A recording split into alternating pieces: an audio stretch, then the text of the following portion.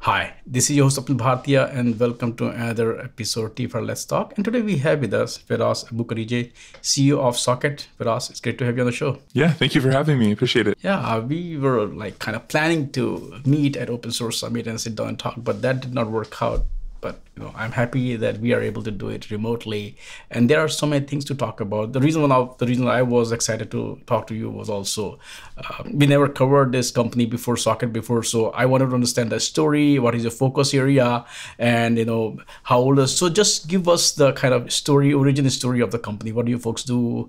Why was the company created? What problem you try, uh, guys are trying to solve here? I was an open source maintainer for most of the last 10 years in the javascript community primarily so I've, you know, one of those people that wrote um, all those npm packages that are, uh, you know, in, in in lots of our dependency trees today. And um, you know, I had a great experience uh, being part of that community and learning how open source works from the inside. And um, one of the things that uh, I learned during my time uh, writing these packages is how uh, wide-reaching our dependency trees are. So, um, you know, for example, when you start a new application, uh, it's common to have thousands of dependencies right off the bat, right? And so this is a huge change in the way that we do um, open source and the, the, way that we build application, really.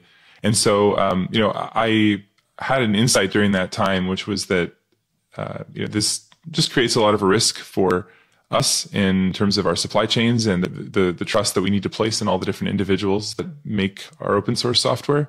And um, you know, this, the sort of new way we open source uh, and application design is leading to more supply chain attacks.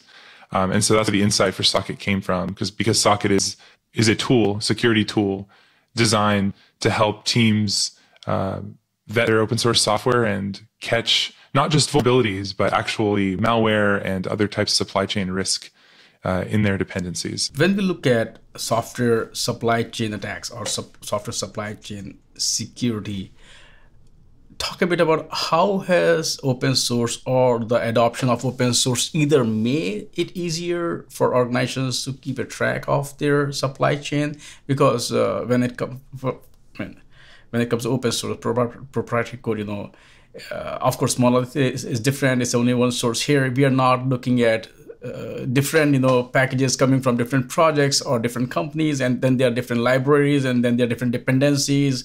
Uh, even if you know the funny thing is even if you ask you know i remember a couple of years ago if you go to events go to a booth hey you know we have this nice container you can just spin it up uh, but they have no clue you know all the source that is there in the container hard links are there soft links are there so so talk a bit about when it comes to security, software supply chain security, how has open source either made it easier or more challenging to keep a track on it? Yeah, I know. I mean, uh, you're totally right. Like, I'm definitely nothing I'm saying is is, is designed to be a uh, negative statement about open source. Uh, like I said, I love open source, and I was a, a, creator of open source for for many many years. I think my npm uh, packages have something like 500 million downloads every month. Um, so I love open source. I, I, I mean, it's amazingly powerful the way that we can collaborate without even needing to really, you know, uh, know the people who are using our code. Um, you know, that's that's the power of it for sure. Uh, the the the risk really comes in when you look at the just the sizes of our supply chains, and this is less to do with open source specifically, and more to do with the way that um, of modern um, programming communities work. So if you look at um, the JavaScript community, the Rust community, these newer um, programming language communities have um, a tendency to create really tiny packages, small packages that do one thing well.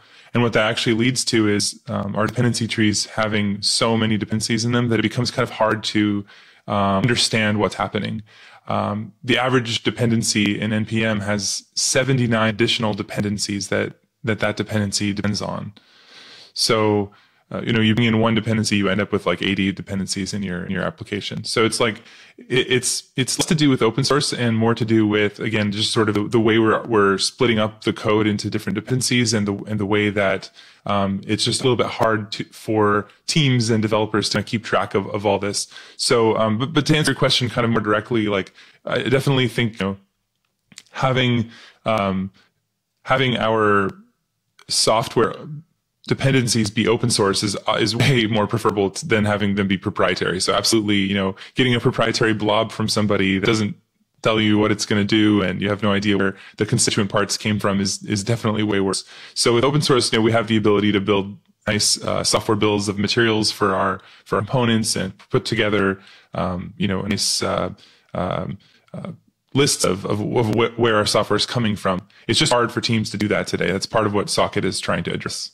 If you look at this adoption of open source, where almost every company is relying on open source code base, how much understanding do you see that they have about supply chain security? Or you feel when you talk to them, they're like clueless about it and they have no idea. And, you know, and you have to go out and educate them that hey you know just like uh, uh, automobile industry they should have a very clear visibility of their supply chain? What, what, what are you seeing in the market? I think teams are aware that they should be doing something about open source uh, supply chain security. Um, but they don't really know what to do. And I think I've seen a little bit of confusion around, um, you know, what would actually help with the problem. Um, so, so one common mistake I see is um, people think that scanning for vulnerabilities, uh, CVEs, is enough. Uh, and if you do that, then you're you're safe against uh, these types of attacks and risks. And unfortunately, this just isn't the case. Um, market right now, it's flooded with a lot of vulnerability scan tools uh, and and tools which focus on these CVEs. And these tools merely look up the packages that you're using to see any vulnerabilities have been reported in these packages. But unfortunately, this this process is very slow and it's too reactive to stop an active supply chain attack. What I mean specifically about that is a packet that gets compromised um, by a, a, bad actor and has bad code inserted into it, um, that will go out and people will start to install that. Companies will start to install that uh, a lot of times right away when a developer goes to install that dependency or when a build tooling automatically upgrades the dependency or um, you know when this uh, this makes its way into people's products um, and then at some point in the future the community will learn that this package has compromised in some way and it's too late at that point to go and, and, and protect all the apps that had used that dependency. And so, really, what we're seeing today is the leading organizations are expanding the scope of what open source security means to go beyond just vulnerabilities and to include a holistic defense against supply chain attacks. Uh, and so, you know, again, supply chain attacks are pretty different than vulnerabilities. They involve an intentional um, introduction of uh, a problem into a package and it's done by an attacker with malicious intent. And unlike vulnerabilities, you don't have uh, time to mitigate them. Uh, with vulnerabilities, often you can wait uh, days, weeks, months sometimes to fix the vulnerability and nobody uh, finds the vulnerability. Now, I'm not saying that's a good idea, but you know, a vulnerability is like leaving your window open uh, to your house. You know, somebody might somebody might use that vulnerability to get into your house but probably not, right? Um, you go for a very long time without anybody exploiting vulnerability. Uh, and also with vulnerabilities, you have a lot of them which are just uh, uh, very um, uh, low impact and you know, might not even be exploitable in production. And so anyway, what I'm what I'm getting at is is sort of we're seeing this sort of shift from just looking at this as vulnerabilities to a more holistic picture. But the problem is that even if a team wants to do the right thing and take a more holistic picture of their supply chain risk, it's really hard to do the right thing. Like it's actually just, um, there's no tooling to, there hasn't been until now, like until Socket really, there hasn't been tooling that makes it easy to help developers make better decisions about what dependency to use. There hasn't been tooling to surface these risks. And so what we see is like most teams just sort of, um, put their head in the sand or just say, you know, I cross my fingers and I hope that we're not affected by this. Um, and what's really um, kind of fascinating about it, in, in, in my opinion, is that in the end, what you end up seeing is is actually a lot of teams scrutinize their um, colleagues' code more than they scrutinize open source code that was written by people, you know, random people on the internet. Um, you see this when code review processes are implemented, and you know you have to review um, a developer's code before it makes it into um, production or make, before it makes it into the app. And when it comes to dependencies, um, nobody really reviews them. So we just usually see, oh, okay, this dependency was added. And, you know, GitHub and all the popular tooling out there doesn't really show you what is the code in that dependency. You know, what is that code going to do? What other dependencies does that dependency depend on? right? And so most teams just sort of shrug and say, okay, yeah, a dependency was added, and they don't even review code at all. They don't even do the most cursory basic checks of that code to make sure that it looks reasonable. And so it's just, it, and again, I'm not trying to blame any teams. It's actually just a really hard problem. And so, you know, for the most part, people are are uh, are, are really relieved and really happy when they see, oh wow, Socket makes this really easy. Um, this is wonderful. So, um, so that's that's what we've been seeing is we've had to educate a lot of people on the difference between vulnerabilities and and, and supply chain attacks, and we've given them these powerful tools that actually help them do that assessment in a in a fast way that doesn't really add more uh, burden or more noise to the developer. Talk a bit about how is Socket helping organizations where security doesn't look like you know another intimidating things that they have to do? Eh, plus you know as you're also touching upon that eh, eh, we need to have a holistic view towards security. Otherwise we'll end up using 50 different solutions for security and we have to also ensure that they should work together. So talk about socket's approach to make it easier for organizations to focus on security. So the first thing we do is we're extremely developer friendly so the truth about most security software i have to say it's it's typically sold to executives. So it tends to suck to actually use it.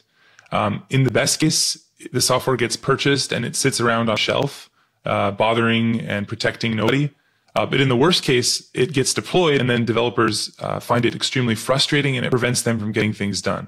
So I would start by saying, so Socket's designed from the beginning to be developer friendly. That's something that uh, our team cares a lot about because we are much more um, coming from the developer side and the security side. Um, so that's the first. The second thing is we're built directly into the GitHub workflow, uh, the VS Code editor, the CLI. We we build Socket directly into all the places that the developers spend their time. So this means that it doesn't require them to go use another tool, uh, learn another process. Um, Socket brings the information that's most useful to the developer directly to them, um, and then makes it uh, digestible and easy to understand. So, for example, uh, a developer might use um, a new dependency, uh, and Socket will tell them, "Hey, just so you know, um, you know that dependency uh, that you installed, you know, it has no updates in five years, right? Uh, okay, so that's good to good to know before you start building a feature and spend weeks uh, using this open source dependency that's abandoned, right? I mean, that's a very simple example, but good to know that and good to know that proactively, uh, not after the fact, right? Another example: um, say the developer um, is installing a dependency on their command line. They type uh, npm install, uh, you know, foo, and they go to install the foo dependency, but they make a typo, right? They install actually they typo it and they install a different package. Now, um, this is pretty, very dangerous actually because the, the package manager actually allows the package to run code immediately upon installation if it wants to. And so uh, making a, a, single letter typo can actually lead to their uh, developer laptop getting uh, completely compromised by malware. Um, and so this is a, a, an example where Socket will come in and actually it will stop the installation and just tell them, hey, just so you know, the dependency you installed it's one letter off from a dependency that's much, much more popular. You know, it'll tell them it's 10,000 times more popular and it's one letter different. Are you sure you intended to install this, this package? Um, so again, you can see it doesn't, it doesn't interfere with their workflow unless there's a good reason to, to tell them that information and they're very happy to get that information. Um, and then, um, you know, that's, that's the approach we take throughout the whole product. Um, and I'll just mention one other example. So one common, um, thing we see with supply chain attacks is when um, a legitimate package or dependency is taken over by an attacker, one of the first things they like to do is to add, you know, additional code that steals information or, you know, does ransomware or um, adds a cryptocurrency miner to steal, you know, uh, system resources and, and mine cryptocurrency. So there's there's these these typical kind of pattern that we see when when a package is compromised. What is the attacker trying to do? Well, they're usually trying to add some of their own functionality into that into that project and hope that nobody notices for a little while, right? And um, what Socket can do is um, when a developer goes to update their dependencies, um, which they have to do obviously from time to time, um, and they go to make an update, we will highlight for them when the behavior of the package has changed in a significant way. So, for example, if they've been using a package for the last two years and it never needed to make any network requests, it never needed to talk to the internet, right? Now suddenly they're going to update and they're it's a patch version, a very small update, right? It should, should be for fixing bugs, making very small tweaks. and we see, oh, wait a minute, you know, it's sending data to the network now. That's a very significant change in behavior that we want to highlight. So that's, you know, it's again, it's a very, it's a very useful piece of information to give the, to the developer that lets them say, hmm, wait a minute, why, why is my dependency behaving this way? Um, and and we don't block them, we don't stop them from doing their work, but we just let them know. We we let them know, hey, you know, this is what we observed. Um, and, and, and now at least they have the information to sort of, if, if, if, if it does seem out of the ordinary for them to pull the thread and to figure out what's going on here, right? Um, so it's very powerful. And, and, these are just some of the things we do. But, um, you know, we, we think of it like um, the way on a smartphone app, if the app wants to use your microphone or use your camera, right? Uh, the developer doesn't just get to do that without asking for your permission. I mean, it doesn't just get to, to release an update that, that steals all your information or, or start spying on you. But with open source, uh, the way it works today, if a dependency wants to start doing a lot of different behaviors in a new version, um, there's no warning to the developer at all. There's no warning to the to the team to see this. So that's what we we see Socket as bringing that type of of a permit model to um, to the open source experience and highlighting those changes in behavior. Um, so there's, you know, that's that's kind of the, the, the feeling. I don't know if that, if that, kind of I covered a diff- few different parts of the product, but but we, we, we see it as basically being very developer friendly, very developer first, and um, trying to help them do the job better. Can you talk about some of the use cases? Of course, you may or may not be able to name companies where you can say, hey, these are kind of organizations which are leveraging Socket technologies. Today, uh, Socket is uh, used by over 3,000 organizations and over 150,000 code repositories and we're protecting all of those organizations from security threats originating in open source.